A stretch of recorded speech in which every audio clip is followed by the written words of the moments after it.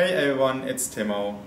No matter if you're a woman or man and your goal is to tone up your body, your goal is to change your body composition, I always recommend to do resistance training, to do weightlifting. But how long should you rest between the sets when you're doing weightlifting? Let's have a closer look. First of all, it depends on your goal you are having. If you want to build up strength, you should rest between the sets three to five minutes. So building up strength means you need to keep your repetitions very low, one to three reps or maximum five repetitions. And then you need to rest three to five minutes. The reason is because you need to wait until your body replaces the energy again. So energy is the ATP or your creatine phosphate.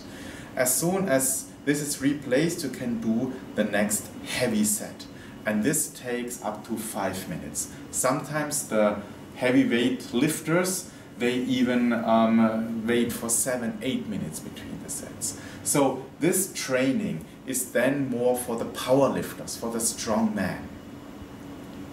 If you want to build up muscle mass, and that is what most likely you should or you want to do because you want to tone up your body. That means you want to build up muscle mass you should rest one to two minutes between the sets. So then you keep the repetitions below 10. Usually you should keep them between 6 and 10, the repetitions, and um, don't do um, longer than 2 minutes rest period. And then you are in the ideal environment for building up muscle mass.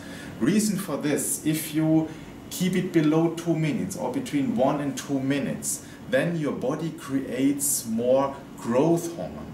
And this helps to build up lean body mass and, and to build up the muscles and also to re reduce your body fat.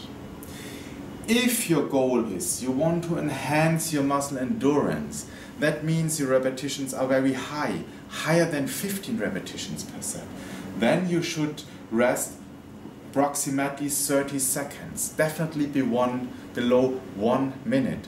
And then you are in an ideal environment to enhance the muscle endurance. But again, coming back, if you want to build up lean muscle mass, if you want to tone up your body for the ladies, then be in this range and stay between one and two minutes. I see very few people taking the times between the sets, but it is a factor to take the time between the sets. Um, the factor for your success to tone up, to, to build up muscle mass. So take the time between the sets, go for one to two minutes if the goal is to build up lean muscle mass, to tone up your body, and you will be more successful. Thank you very much for watching and see you next time.